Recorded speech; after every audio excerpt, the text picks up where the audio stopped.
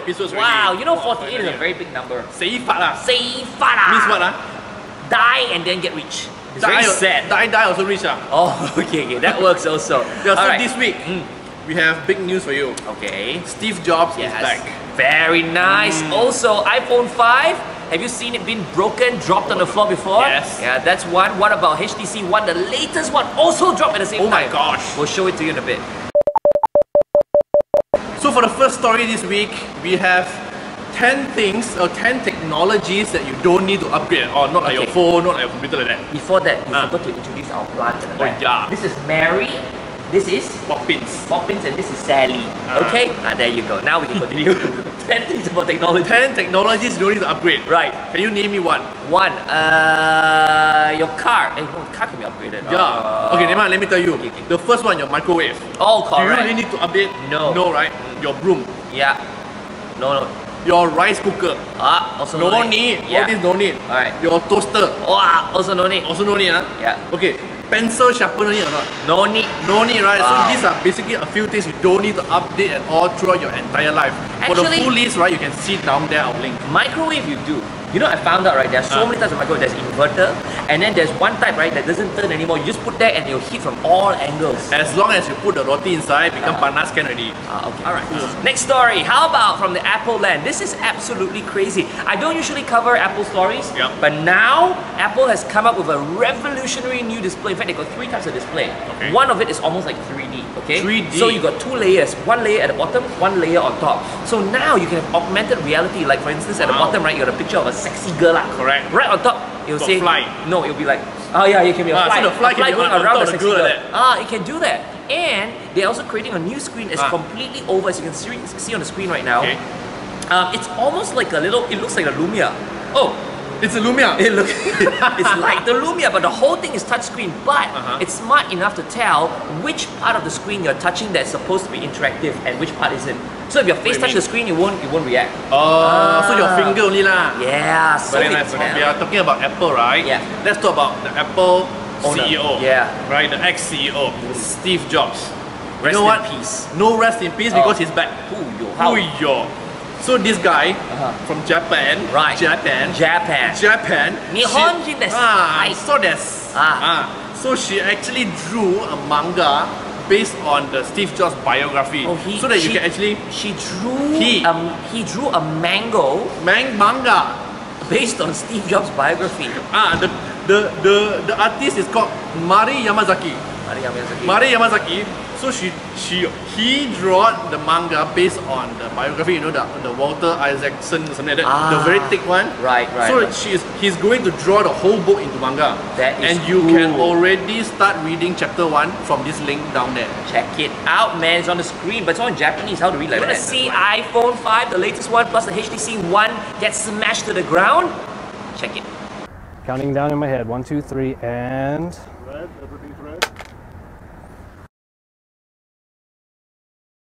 All right, so it landed right on its face. Oh man, what a start! What a fantastic start to this drop test. I dropped it, it went right onto its right onto its face. All right, pocket test right now. HTC One. Here we go. Going from the side and ooh. So as you can see, it landed right on the corner right here. And pretty much the only damage that happened to the HTC One was that this particular cover snapped right off. Thanks. Okay, next this one is very ridiculous one. Okay. Three guys Hmm. got arrested Right. for cutting cables Where? under the sea. What is wrong with these people? They're doing it as a hobby or what? Why? No, actually these three guys are they're actually uh, trying to destroy the internet cable For what? in Egypt. oh my god. The gosh. underwater cable. Ridiculous. Yeah, because they want the Egypt people to not go online. Slap the fella. Slap the fella. So while they're actually cutting, right, Ah. they got arrested by police. Police went underwater to look for them. Somehow got police under the sea there. Wow. You Yeah. Egyptians are amazing. Cool. Yeah. So basically, when they were cutting this, right, Oh. uh, slow internet connection was experienced uh, around Africa, Europe, Middle East, and parts of Asia lah. So Alright. if your your UniFi a bit slow, then you know why lah. Got three fella cutting. That's why. So Google's been a bit quiet lately when they launched something called Google Keep. It's something to do with uh, keeping notes. That's why it's called Google Keep, right? And uh, this app is absolutely free. It's got a web-based system where you can log in and then check out all your notes that you put on your mobile devices as well. And so you can see here, I already got one note going on. This is where you add a quick note, one more, and I can even talk to it if I like to. I just press down here and say, "Hello there, how are you?" And it just types everything out. Oh, hello there, how are you? And you're done already. And then when you're done, you just hit back. So that's a note right there. Let's just see you want to change the color. You tap on that again. You change the color here. You can make it to yellow if you like. Go back and there you go. A yellow note and this note. You want to move them around? You can. As you can see, the interface is very, very pretty. Also works with very quick notes like that. I am driving right now, so I cannot type. Ah, it's automatic. There you go. So I can type, which is great. So I can also change the color if I like to. Maybe orange. I want to add a photo, I can line camera for instance. Regular camera take a picture of the floor. Perfect. Once that's in there it goes into the note.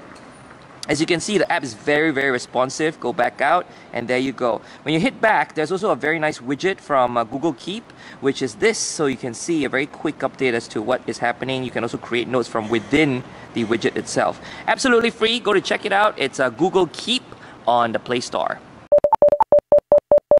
so for gadget review this week, we have the HTC Butterfly. It's the newest one in the market now in Malaysia. As you can see, it has a 5-inch screen, 16 by 9 ratio.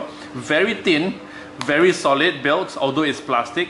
Um, we got the Beats speaker here, it's built in. And then um, this is actually the, the earphone port and then we have the on-off button. The charging, but, but the charging port is also uh, covered although it's not waterproof like the Xperia Z. So let's switch on the screen. It's actually very, very high res. Now let me unlock the screen first. Uh, wait, one, two, three, and I'm back. Alright, so this is the, the home screen. As you can see, these are the folders. You know, the screen is gorgeous. You got to check out the screen. This is like unlike any other screen I've seen before. Yeah, it's the highest resolution resolution screen because it has 1080p full HD resolution and uh, pixel density is 441, highest so far among all phones. So let's check out the apps. This is how the apps look like. You can actually sort by frequent, by downloaded, and back to all. Alright? So let's check out an app. Let's just say we go to The Verge. So The Verge loads. And uh, it's actually very long, very nice to read news. Right? Very smooth as well. It's running Android Jelly Bean and uh, this is a notification bar as you can see we have uh, messages and all this we can swipe it away we can also go to settings this is how the settings looks like and the camera is 8 megapixel it has um, burst shot as you can see I'm pressing now and then it's taking pictures beautiful yeah all these thumbnails will appear and then when we select a best shot it will select a best shot and save that and delete everything else it also has simultaneous uh, video recording with front and back camera at the same time. Oh, so you get to see yourself and see other people. Correct. You wow. get two videos. Yes. It's so like that's, picture in picture. Yeah. So that's basically um, the review of the HTC Butterfly. I really, really love it because you see at the border it's actually very thin. Mm. It looks very modern. And the blacks actually look like the black on the screen as well. Yeah, very nice. It's about 1819 now in the market. So if you like HTC, get one lah. So that's all for episode 48. Thank you for joining us. My hair is falling already. That means it's time to go. Yeah. Yeah. Yeah, my, my shirt also sweaty already. Very it's nice. time to go home. Okay, so you know you got any questions, you can always tweet us. It's at Techduology or our personal Twitter addresses. At uh, Smashpop, mm-hmm. at Benjern. Yep. And email us at I, I love you mm-hmm. at techduology.com. Uh, Facebook at? Uh, just like it lah and then you uh, see slash technology lah. Fantastic. Uh, Alright, see you. Thank you. Bye.